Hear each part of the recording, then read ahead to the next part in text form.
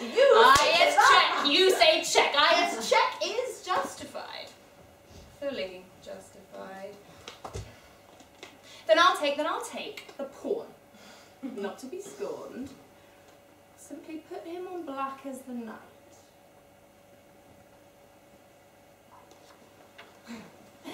Simply the pawn before the king, and already you're pale. What are you going to do? Say something or fail? Saying, I'm saying nothing. But doing, I'm doing something. To be exact, the bishop, this one, I'll send him to his retirement, you see. A kick from my horse and bang! What the heck? Again, your check. With the horse, the horse, the dear beast. And the pawn doesn't help my king, not a thing. I mean, if he just stands around like that and goes away, I mean, can't go away either. The, queen is stood there in full splendour. So the king has to move. How can he do this? Simply by drawing back a rock, and here he's got a corner that's luck. hop, hop, says my horse, and mount your pawn folk. They must submit. Nature is stronger. Again, your king is rid of one. It's only a stupid pawn. Oh. Don't go at all.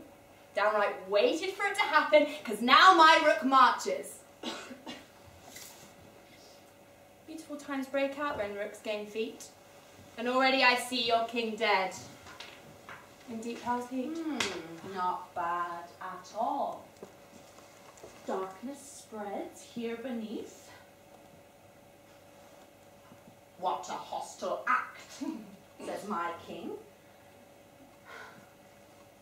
Dumb pawns stand in his way. Left them hanging carelessly.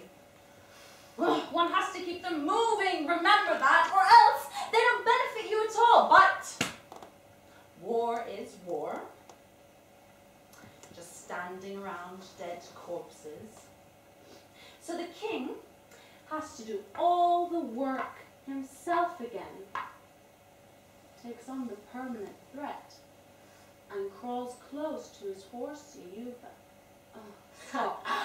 go back, go back. That's not how it works. Oh, well, set is set. If you're going to touch one, you have to move him.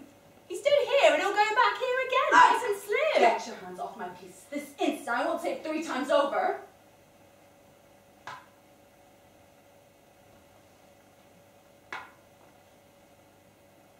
Fine. Now he stands there again. Got your will? Couldn't you have made an exception? Huh? Mistakes are made to be taken back, never late. I, I only touched him. And that's all it takes. That's life. Now it's my turn. and very elegant, my queen springs into your hinterland. I didn't see that? Hmm? All because of one stupid mistake? Could you make an exception? Oh, but that's not your strong side. Shut. Can you tell me where I should go now? Not here? Not there? Now the bomb exploded over all the stuff over in various mode! I knew you'd do that. You knew I'd do that.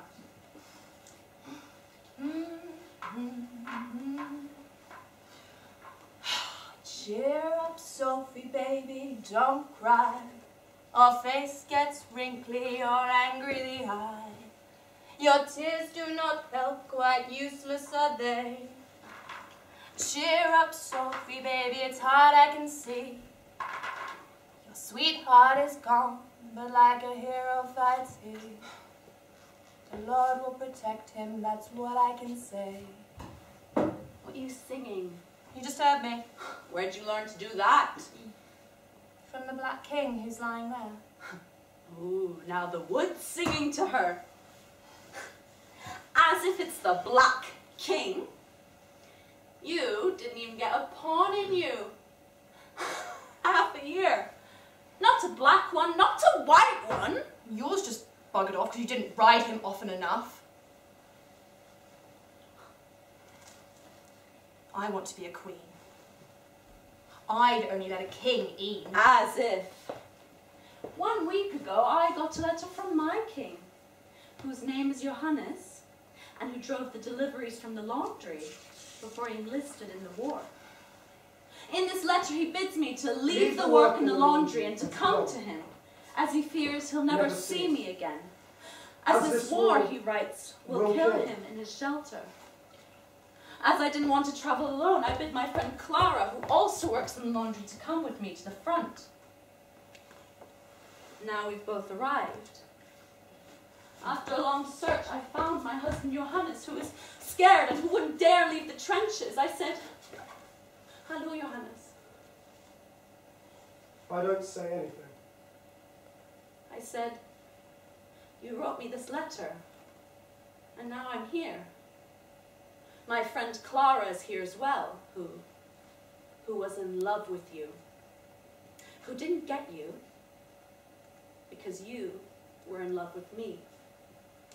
We traveled for three days and nights and didn't sleep. Is that right, Clara? And Clara says, That is true, Rosa.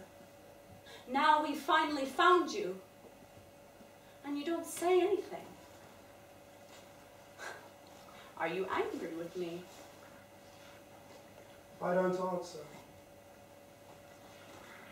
Don't you love me anymore? I don't answer.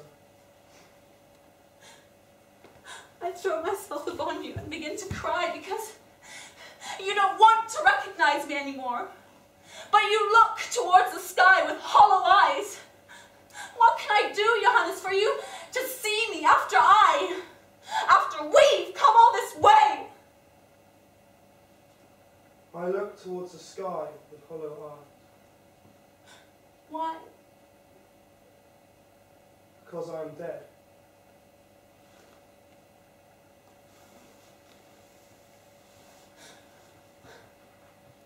I cried for a long time.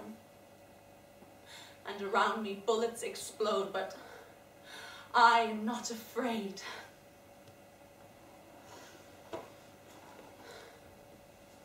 Then my friend Clara says, Take the ring from his finger. Your name is on it. Then we should go. Where to? I ask. Home, answers Clara. I don't want to go home anymore, I say, says Rosa.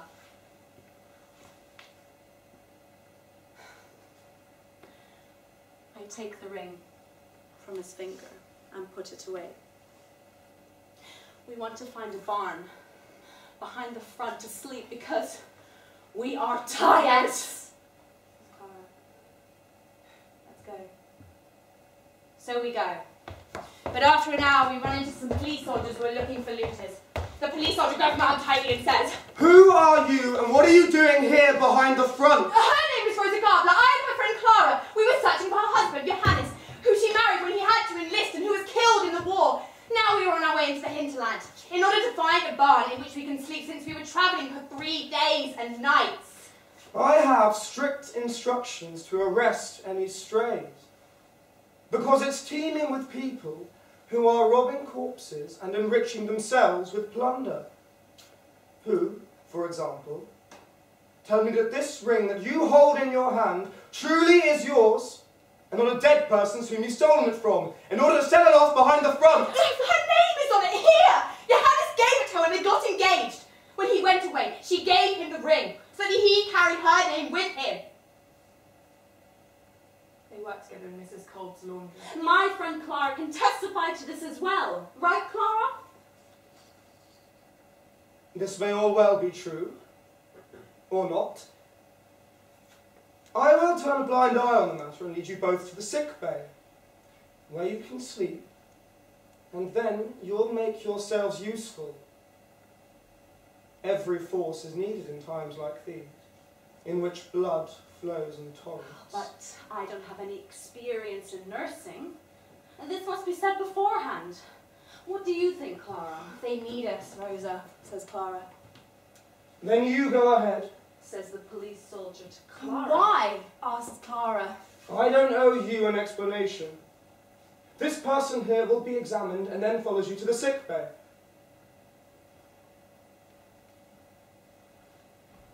See you soon, Rosa. See you soon, Clara. Body inspection! The question is whether you have any other belongings beside the said ring on you. Off we go. Is that your car? This is the car of our king. This is our laundry van, Rosa. Don't you remember? How we used to drive and deliver laundry after you washed and mangled it. Us two. All alone in Mrs. Culver's laundry van. Oh, Johannes, my love, you're alive. Maybe. How that was. How, How was that? You laid me amidst the sheets. No! Like this. And everything smelt of fresh, clean laundry. Even you. And I was scared that someone could see us in the middle of the street in Miss Colbert's van. But no one saw us, Rosa. Are you a virgin? Take a look.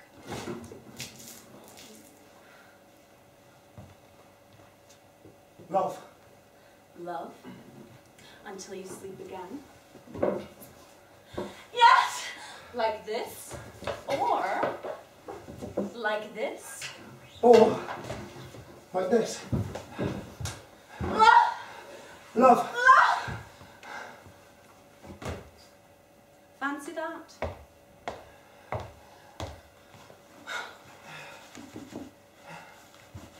Still have to take the load to the Twachtman Street. I alone mangled and hung it all up on the meadow. Pay attention. Women are tiresome. Are you sleeping? I don't I want, don't to be dead anymore. I don't want to be Johannes anymore. The man from the laundry, the man from the trenches, the man you have taken the ring from. You're talking crazy again, Clara. Hey, since coming to the sick bay, it's been getting you down. I've been asking myself this for a while now. Has the war done this to you? Or does it lie in your nature? Hmm?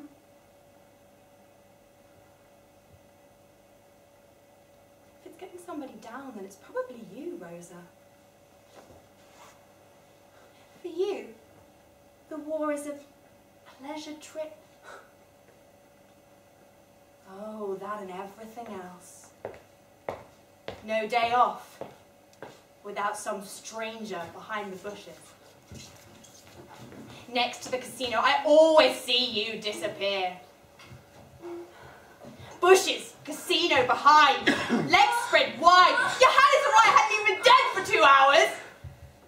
And to add to that, now I see you dragging some tattered lad from the ward up to our bedroom. The little life that's left squeezes out between your thighs.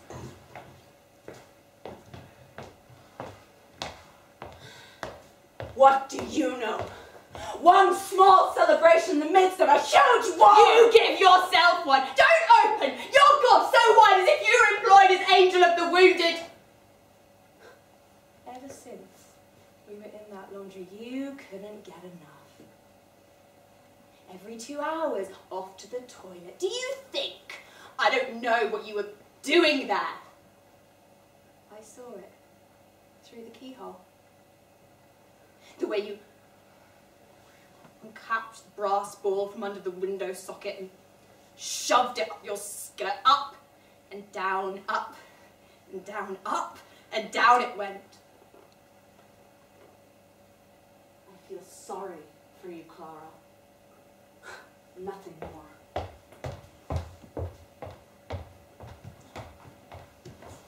Climb into the van, miss. I have the order to take you to the field brothel. The spreading of sexually transmitted diseases causes undermining of the military force. A Couple of injections, and then you'll be completely sanitized. The daughter from a good family. Sorry, Sorry, what?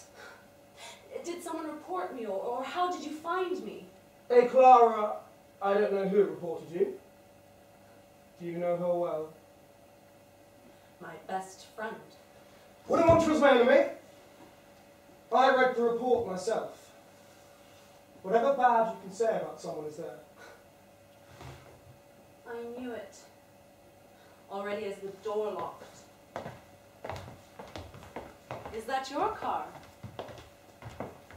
Nice vehicle. Confiscated.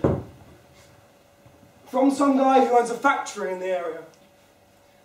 Special model. Wasn't even anything he could do about it. War is war. Private cars don't exist anymore. Nothing is private anymore. I told him when I went to first pick up the car. Not even him. The look on his face. Have you always been a soldier? I was unemployed before the war. Enrolled voluntarily before everything took off properly. It wasn't for me. Sitting around at home and gaping out the window. Oh, but that's great. Not having to work.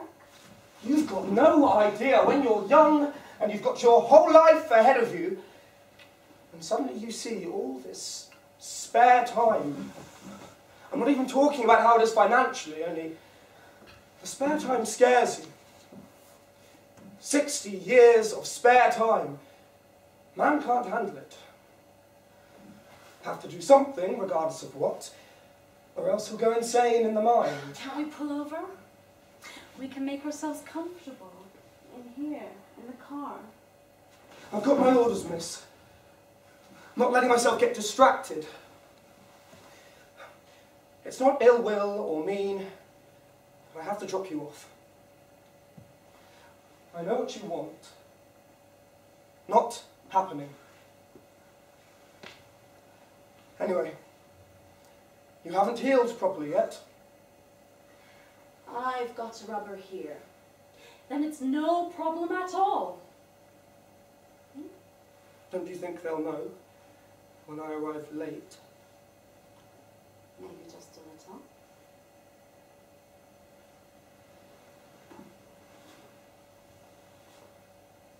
Get out and register with the medic. There, you'll get an injection and then you'll follow me to the barracks.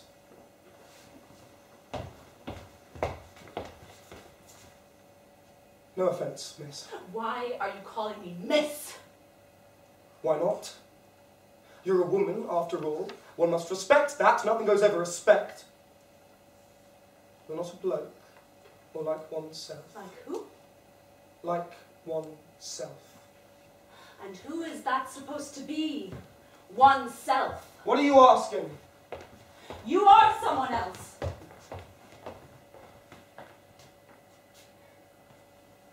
Before I, Johannes Gabler, returned to the front, two days holiday, and queue up for the brothel with a coupon. Fifteen were in front of me in the barracks. Fourteen. Two. Show your member, says Sergeant Muffler. Into the barracks. I put the ring away as I enter. Why do I put the ring away in which the name of my wife is engraved? With whom I worked together in Mrs. Colbert's laundry, and to whom I sent a letter saying she should visit me if she wants to see me one last time. You don't need to put the ring away, soldier. Pull down your trousers. You have three minutes. Begin. She spreads her legs. My name's Johannes, I say. What's yours? Doesn't matter. You have your coupon?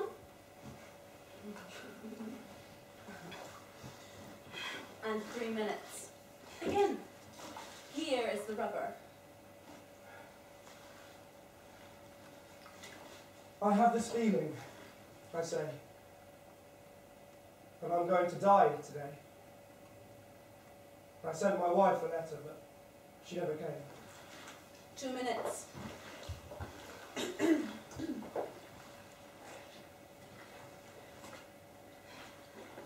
Can I call you Rosa? And you say Johannes to me? Say what you want, but the lads after you won't wait. Rosa, What's going on? I have this feeling. You've said that before. One minute. That's not how it works. Oh, they're banging on the door ring. Get up! I get up and leave the barracks. I go to the medic, doing jet skiing with the suppository. I line up with my company. I march towards the front.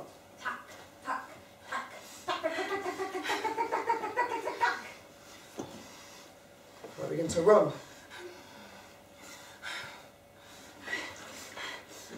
I put my ring back on my finger. I run. Alongside me, a couple fall. I keep running.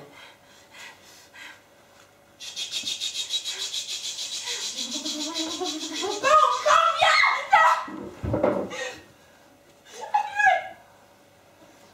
knew it! I knew it! I knew it! Help! Help!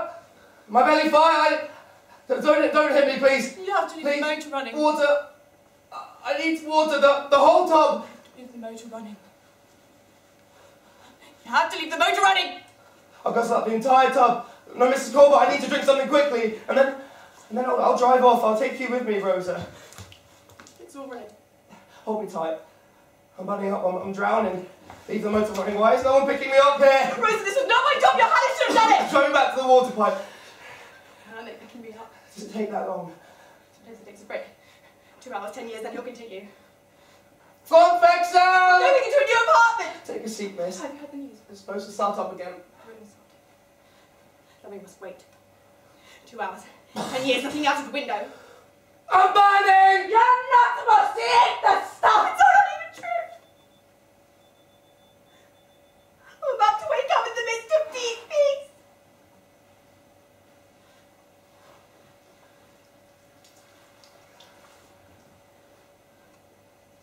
Out on the table. Oh, the tablecloth is bloodied all over. You virgin,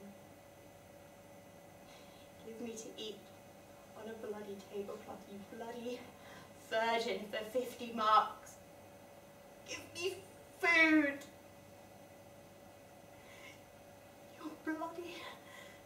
Place your bloody virgin face on the 50 mark note, but that's your work. Give me something to eat at last. And then we'll start driving. You have to open the hood. I have no air. We need to. We need to build in a in a tap. I, I just, no, just no, no. The road's completely somewhere else. Lost, lost, just lost.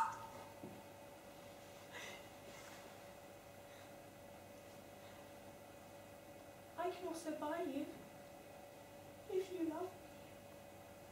Because I wait ten years for the intercourse.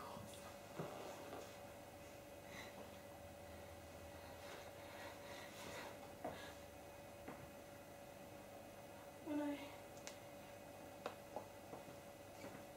when I look out of your window.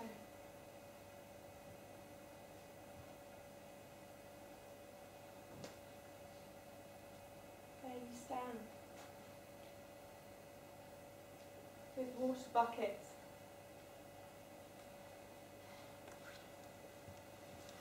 Not in the tub. Not in the tub.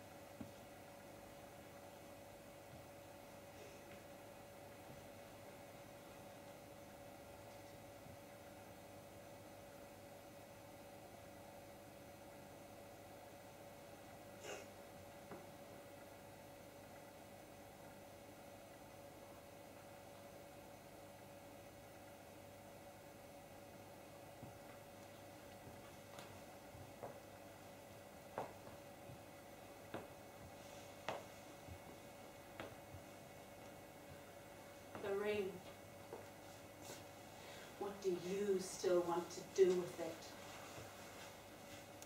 It's mine. I can prove it. But you have to shut your eyes.